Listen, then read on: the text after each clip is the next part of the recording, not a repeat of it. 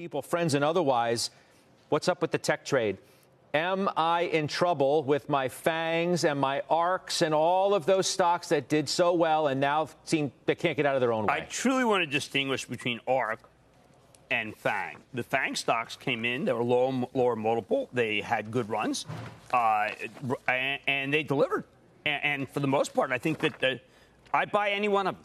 Uh, when I look at what uh, ARK was buying yesterday, uh, I don't know, maybe Stephanie knows some of these. Zymergen, uh, the Repare Therapeutic Recursion, a 908 device, uh, CM Life Science. Uh, uh, these are really, I guess, I, am going to call these odd and odd stocks. And when I look at them, I start thinking, okay, well, is this the time? Is this the time for Galileo acquisition? is it really come? Is it really that time? Uh, and, and Vuzix, is it time for Vuzix? So I don't know. I, these to me are not as blue chip as I like, Judge.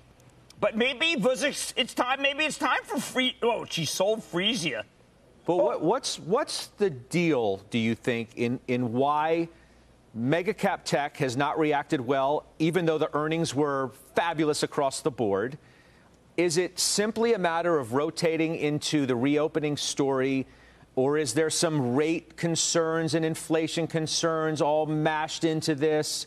Is it teetering? Is it just not in favor? What's the story? Because I know, Jim, that you're asked about it and I'm asked about it a lot because a lot of our viewers own these kinds of stocks, whether they're the big ones or the small ones, the big valuation or the small valuation, and all parts in between. Your Honor, listen to me.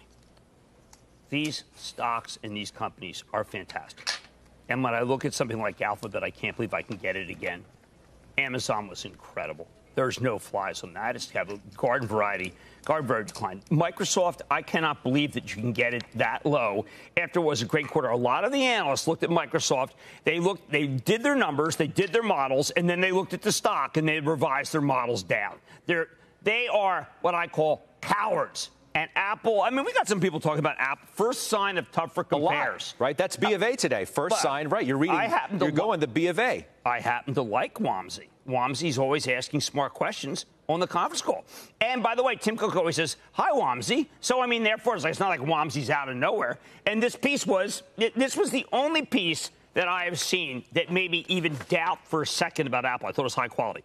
But uh, I'm not backing away from the FANG trade. The, the weakness, of course, is Netflix because the slate wasn't that good. But let's give it a break. There was such a thing called COVID. Uh, those who want to leave the trade, I think that they want to leave the trade over and over and over again because they just want to be in something obscure. I don't like obscurity. I like fame.